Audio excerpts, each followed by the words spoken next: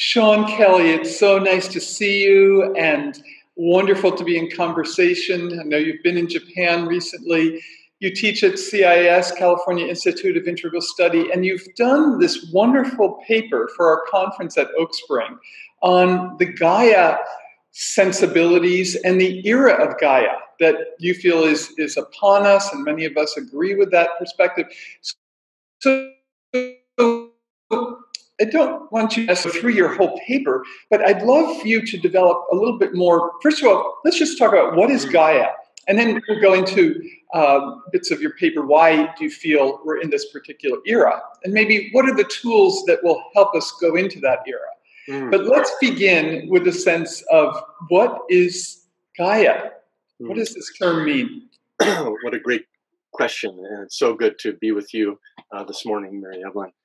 Uh, well, you know, Gaia is different things to different people. Of course, it's a word that some people love to use and, and other people hate to use. Uh, but um, uh, as you know, it was proposed initially, um, apart from being the name of a Greek goddess, was proposed by uh, James Lovelock and Lynn Margulis uh, in connection with the so-called Gaia hypothesis and then the Gaia theory, uh, which was really the precursor to what now is called Earth system science. So, in Lovelock and Margulis' sense, it was a word that described a new uh, insight into the nature of uh, this living planet. That uh, the planet as a whole is a self organizing system which uh, includes both what we normally think of as the living components, the biosphere, and the so called non living parts, the abiotic environment, that are nevertheless coupled in a single self organizing system whose nature uh, uh, including you know the fine tuning of the of the ingredients of the atmosphere, the chemical composition of the oceans, even the plate tectonics, have all been in a sense orchestrated by and for life over uh, unimaginable stretches uh, of time. So this is the original Gaia hypothesis, Gaia theory, and um, the, the, first part to recognize is that uh, in contrast to the the dominant modern scientific view that sees a, uh, a kind of gulf between living and non living matter, the original Gaia theory invites us to see the whole planet as, in some sense, alive uh, in, in its own unique way. So that's the um, the most important part, I think. But um, uh, of course, uh, the other element that has changed radically even since the initial Gaia hypothesis or the Gaia theory is the place, the question of the place of the human in all of this. So initially, the human was seen as just one more member of the biotic community, uh, but uh, since then, so in the last 50 years, uh, as you know, the human has become, as Thomas Berry was one of, one of the first to recognize in such a big way, and and and uh, then with Brian Swimme and and uh, and you and uh, all of the people who have been so influenced by by this uh, tradition coming out of Thomas, the the human has become uh, a geological force in its own right. Is why it seems that now the consensus is to name the era that we've moved into uh, the human, the area, uh, the era of the human, the Anthropocene. So one, uh, the question then is, what is the human in this Gaian complex? Is it is it just a kind of cancerous growth that has come out of the biosphere, um, or is it playing some critical role, even an intentional role, uh, in this uh, 4.6 billion year evolutionary uh, drama that is um, the story of the living Earth? Yeah, so maybe we should also pause and say there's other communities like indigenous communities who have had a sense of the livingness of the earth right? And this reciprocity and deep reverence uh, for ecosystems the biota um, the flowers the fauna the, plant, animal, fish, bird world. So this sense of Gaia, while ancient, as an ancient Greek term, while ancient in human thinking and consciousness, um, is being recovered through a science lens, the Earth system science, um, through a literature lens, uh, and so on.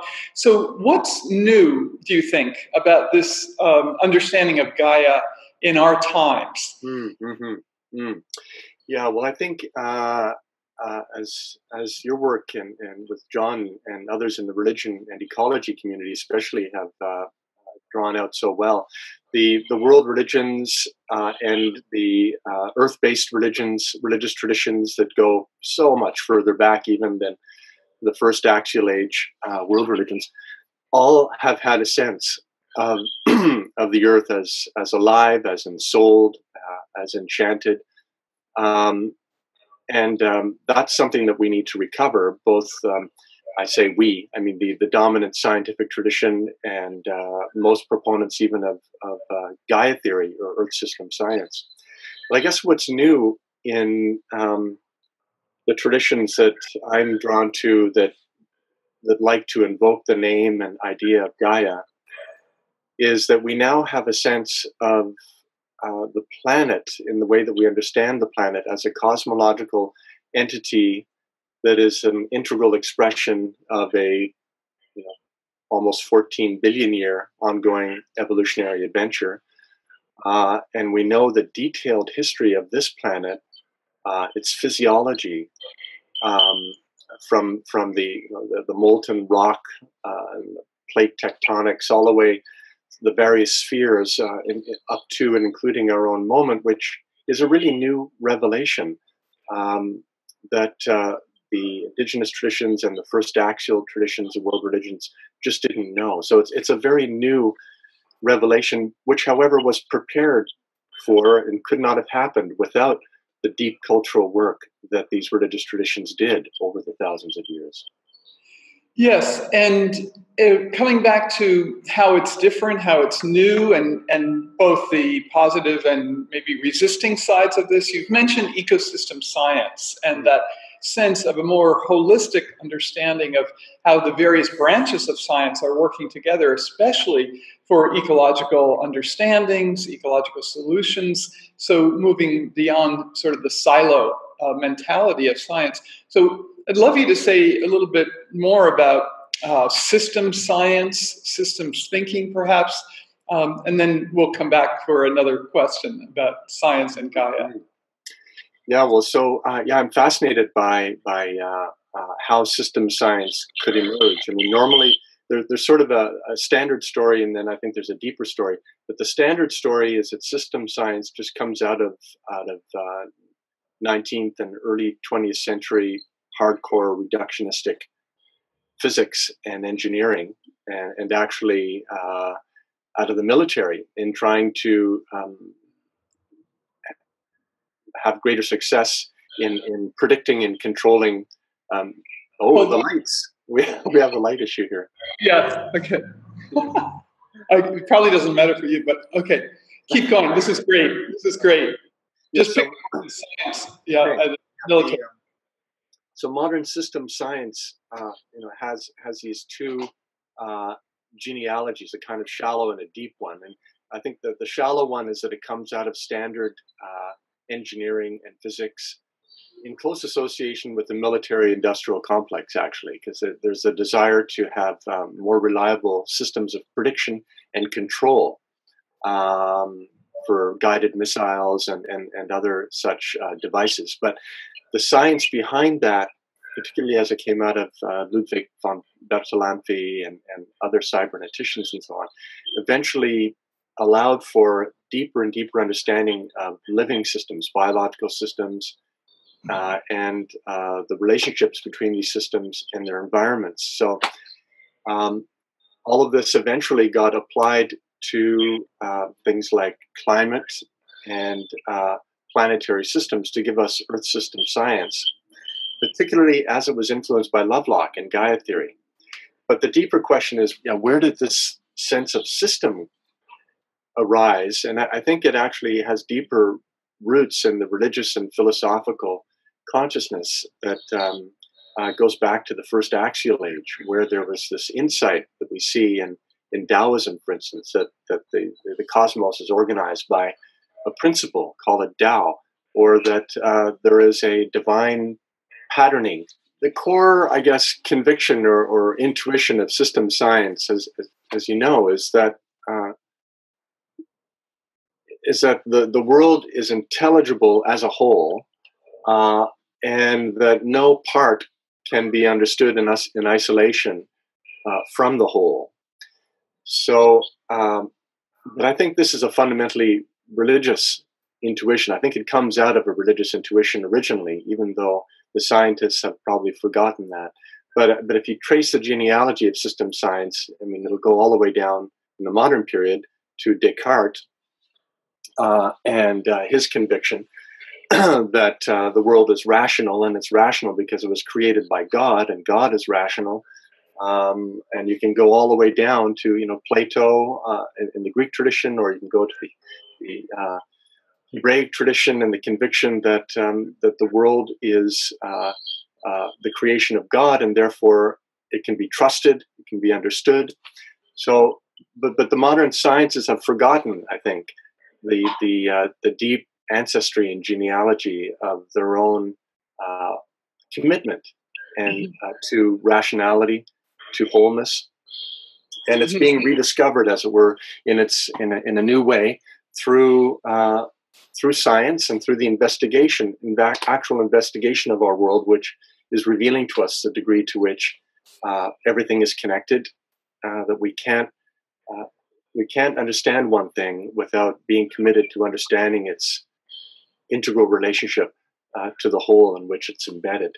So, uh, and this is being revealed to us not only theoretically, but but in terms of a growing emergency, practically, uh, in terms of the global climate, in terms of our political economy, where everything is connected. So, yeah, the systems view is is is both a, an intuition and it's being forced upon us as a practical um, reality. Sean, I'd love you to tell us a little bit more of. You started to say why you think we are in this Gaian era, uh, and partly because we are rediscovering the profound interconnectedness of life and life forms. Um, so maybe you could elaborate that a little bit, um, and then I'll come back with another question. Mm. Yeah, well, um, when I think of this question, why are we in this moment? And uh, first of all, what is our moment? I mean, our, moment seems to be one simultaneously of increasing uh, planetary crisis and emergency. And at the same time, and perhaps uh, um, because of that emergency, uh, we are waking up to ourselves as planetary beings. And even more strongly, the planet itself or herself seems to be waking up to herself in a way. Um, so this is our moment.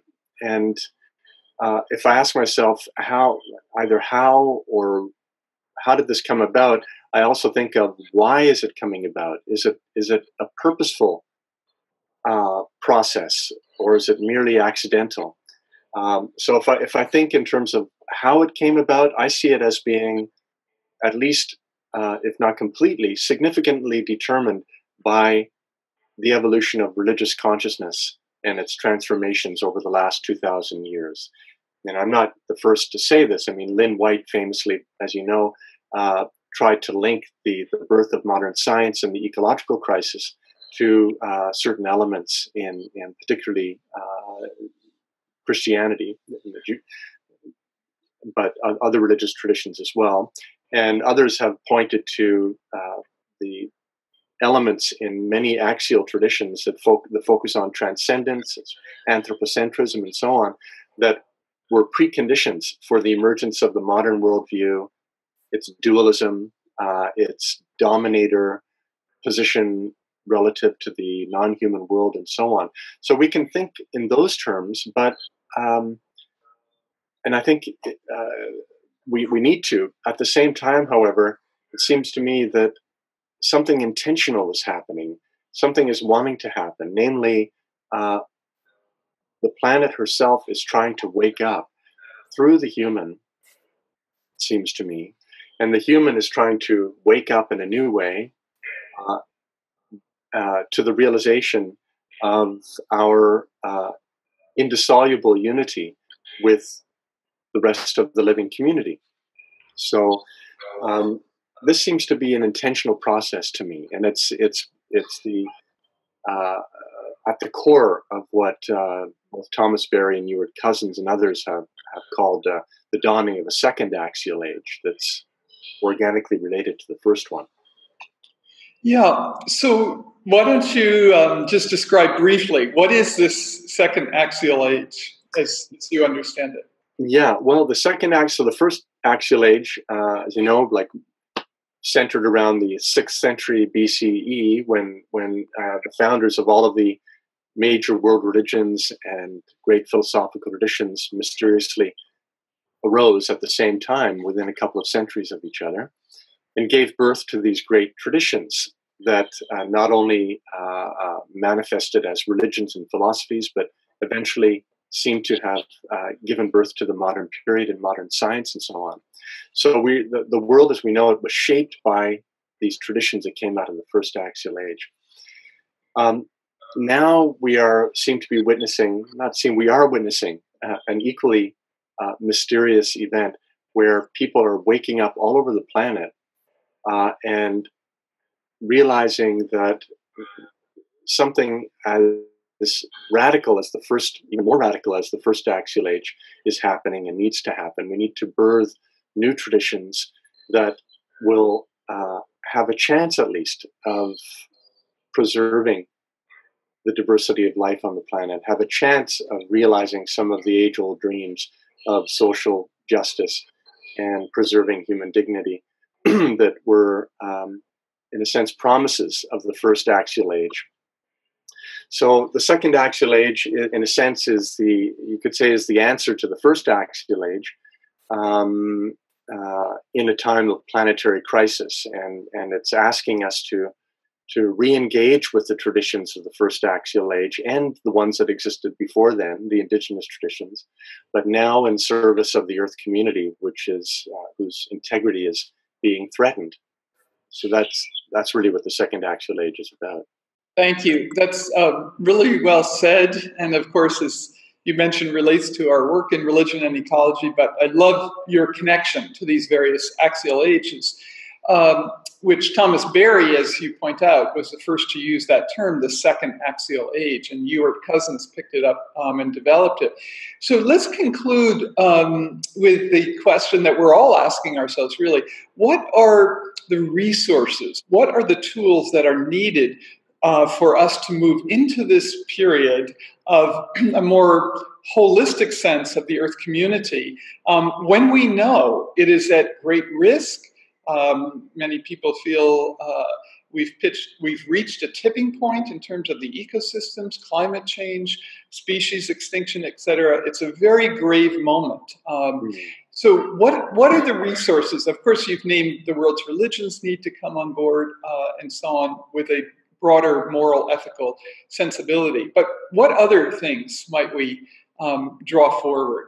Mm know, well, along with these traditions that are still alive and still have much to to gift us, uh, even as we seek to reform many elements of those traditions. Along with those traditions, I I think is the um, increasingly obvious fact of our radical interdependence uh, with each other, socially, politically, and between us and our other than human, um, the other than human community in, in, which we're embedded. I mean, it's becoming so critically obvious the degree to which no nation uh, is an island, uh, no community is immune to the uh, pain and suffering of other communities.